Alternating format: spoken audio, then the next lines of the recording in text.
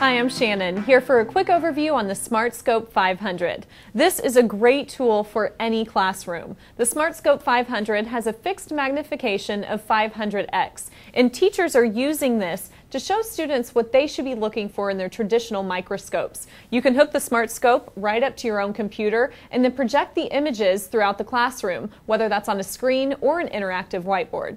The SmartScope 500 is extremely easy to use. You have three controls all on the front. You have the camera, the light dial, and the focus dial.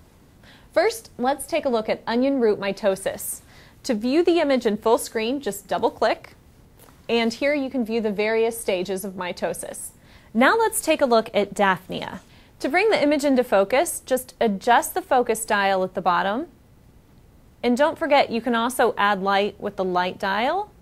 And we also have the ability to take pictures. So I'm going to go ahead and take one of this.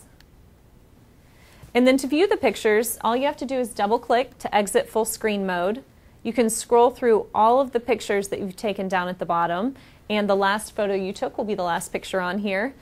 In order to take a look at the picture, all you have to do is pick it up and drop it into the frame. The SmartScope 500 can also do things that you cannot do with a traditional microscope. Since it's handheld, you can use it to view anything you want to get a closer look at. First, let's go back to clear out the picture. This brings us back into the live mode, and then double click again to bring us to the full screen. Let's take a look at some traditional table salt. You can place it directly on the salt and then use the focus dial to bring the salt into focus. You can see all of the textures. You really get such a clear picture. So if you want to capture that, just take a photo.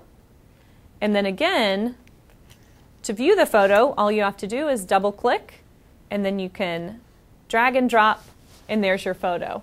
In addition to still photos, you can record videos, record time-lapse videos, compare two images side by side, and it even includes a measurement feature.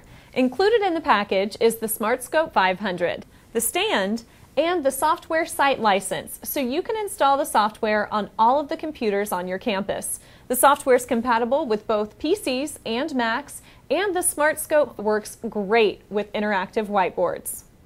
The SmartScope 500 is fun, it's easy to use, and it's a great way to get your students excited about learning.